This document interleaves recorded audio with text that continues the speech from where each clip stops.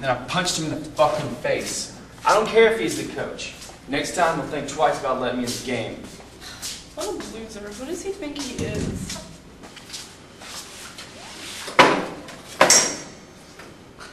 Did you hear? Connor Jackson had the nerve to ask me to the homecoming dance.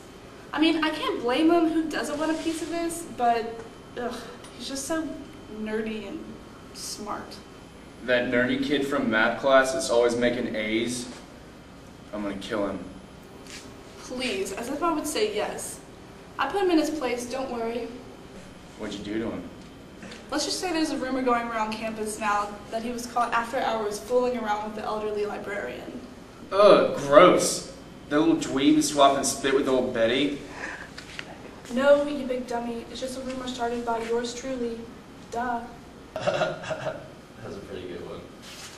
Can you not talk about him like that? I mean, he's a really nice guy. You don't have to be such a jerk. Excuse me, Prue. Did you squeak? Uh, yeah. Did you think your opinion actually matters to us? Well, somebody had to say something. You guys are nothing but a pair of bullies. Listen, dweeb. You better shut your mouth before you get yourself in some real trouble. Don't you see what happened to your little friend? He tried to get on our level and tried to hit on my girl. You should just shut up and accept your place. Slightly below us. Yeah, just because you've been homeschooled your whole life and your daddy's a pastor does not make you any better than us. I, I just wanted you to stop picking on Connor and find someone your own size to pick on. Yeah, like me.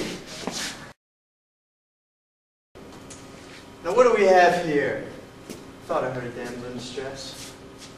Looks like a little douchebag and his bitch sidekick decided to pick on somebody who couldn't defend herself.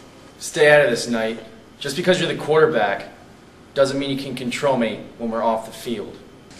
Don't forget coach just named me team captain. I can have you running laps all day after practice if you've deserved it. Which you probably have by the looks of this poor girl. How long do you have to brown nose the coach to get that honor, huh? What a joke. oh, it's no joke.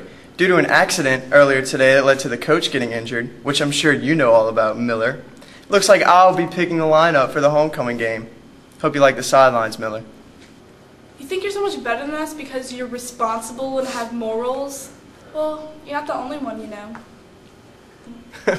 oh, I hope you're not talking about yourself, because from what I've heard in the locker room, you've been getting around to about half the football team and half the teaching staff, and have. Okay, okay, we got it. You're kidding me, right? I gave you my class ring. What? I have more than one finger? You like more than one finger. Are you kidding me? You used to be all cool with this. When I was there, What are you kidding me? Well, you're still blind. I'm glad they're finally going. Listen, I have something I want to ask you. Would you, um, will you go to homecoming with me? I'd love to. Good. My knight in shining armor.